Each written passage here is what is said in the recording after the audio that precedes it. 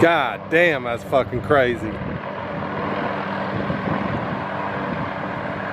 One foot on, one foot off.